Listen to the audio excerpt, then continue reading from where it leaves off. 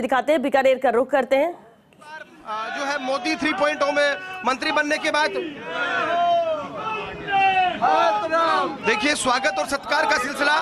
केंद्रीय कानून मंत्री अर्जुन मेघवाल यहाँ पर पहुँचे हैं। मोदी 3.0 में मंत्री बनने के बाद पहली बार जिस तरह से उनका स्वागत सत्कार हो रहा है, हम बात करते हैं बहुत बधाई फ़र्स्ट इंडिया देखिए, आज योग दिवस है, बहुत बधाई फ़र्स्ट इंडिया न्यूज़ की तरफ़ से भी सबसे पहले। मंत्री जी, क्या कहेंगे जिस तरह स्वागत सत्कार है? देखिए, सबसे पहले तो दसवें अंतर्राष्ट्रीय योग दिवस की सबको बधाई।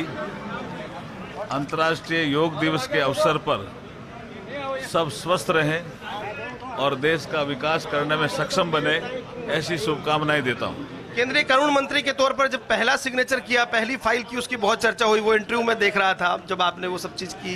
किस तरह से देखते हैं इस 3.0 में अपने सफ़र को?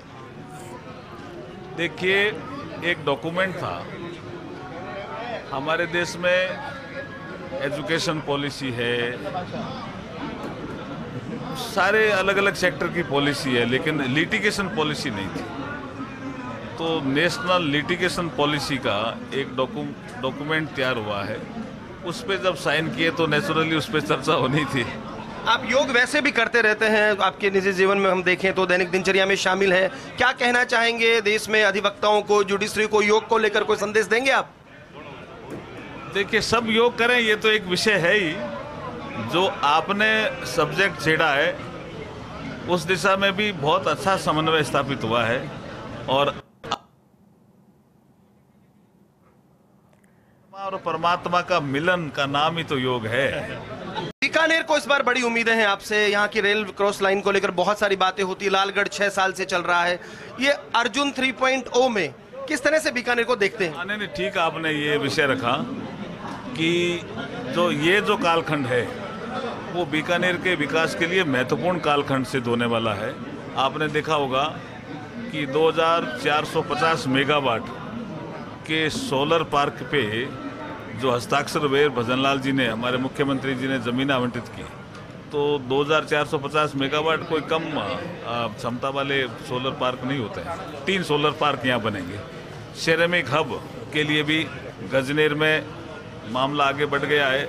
इस बजट में संभावनाएँ हो सकती है और पोटास की भी संभावना है। जब ये चीज़ें आगे बढ़ेगी ना तो बीकानेर विकास की दिशा में तेज़ी से आगे बढ़ेगा। जहाँ तक आपने रेलवे फाटकों की समस्याओं का ज़िक्र किया है, ये जो दोहरीकरण का विषय है, बीकानेर रेलवे स्टेशन और लालगढ़ रेलवे स्टेशन के बीच में ये ठीक दिशा में आगे बढ़ रहा है। मुझे लगता है इसका स्थायी समाधान हो जाएगा। एक नेता ब्यूरोक्रेसी को लेकर कुछ टिकटॉक में हार को लेकर बहुत बोल रहे हैं। अर्जुन मेघवाल कोई सलाह देंगे? क्योंकि अब तो दोस्त जैसी स्थितियाँ हैं ना।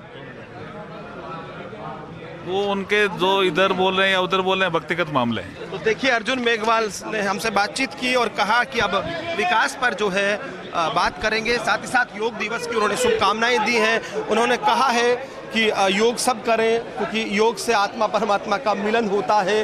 तो कुल मिलाकर कहा जा सकता है, केंद्रीय कानून मंत्री ने फ़र्स्ट इंडिया न्यूज़ से खास बातचीत में एक संदेश छोड़ा है कि योग आप ज़रूर करें। साथ ही साथ कई मुद्दों पर बात की। हालाँकि पूर्व मंत्री देवी सिंह भाटी के